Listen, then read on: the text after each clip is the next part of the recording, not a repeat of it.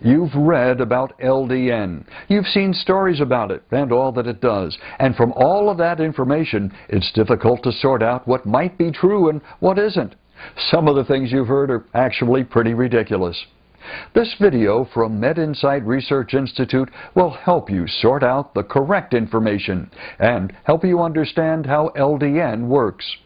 The information in this video is based on the scientific work of the discoverers of LDN, Dr. Ian Zagon and Dr. Patricia McLaughlin of Hershey Medical Center, Penn State University.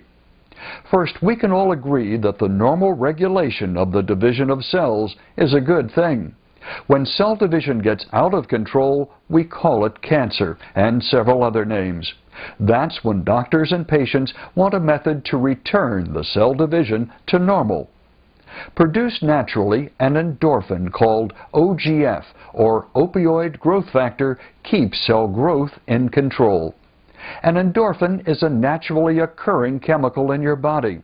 Even the term endorphin comes from endogenous morphine, meaning it's created within the body. These aren't the same opioids that are administered from external sources.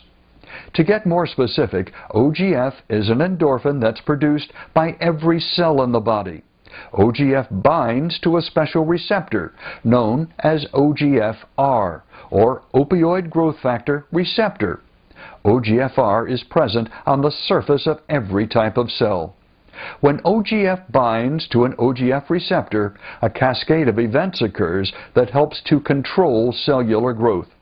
It's vital that OGF is first produced by the cells and that it then binds to the OGF receptor.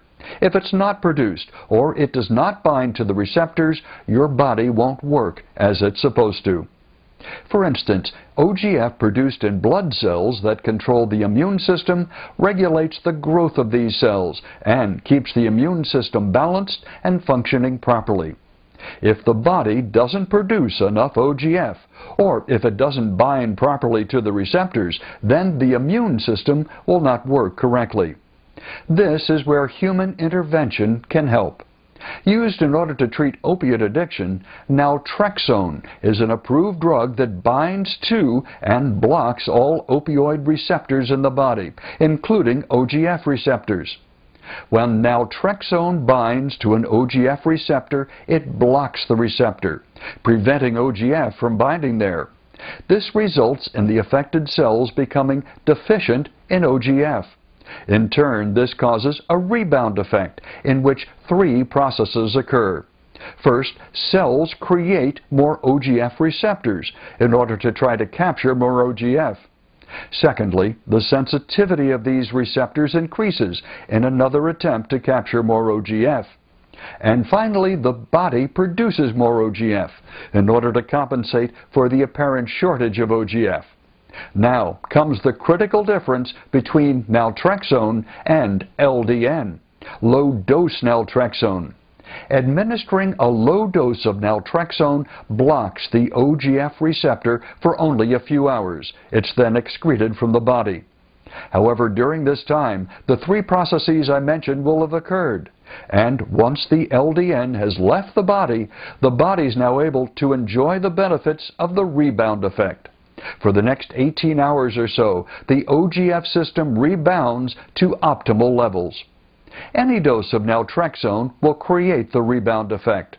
But for the cells to benefit from the surge in OGF levels and receptors, the naltrexone must first be metabolized in order to unblock the receptors only a low dose of naltrexone will be metabolized fast enough so that you can enjoy the benefits of the rebound effect.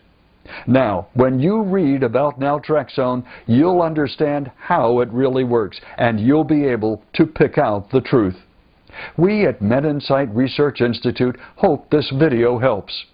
For up-to-date research on LDN, interviews with LDN researchers, and a worldwide directory of doctors who prescribe LDN, visit us at ldnscience.org.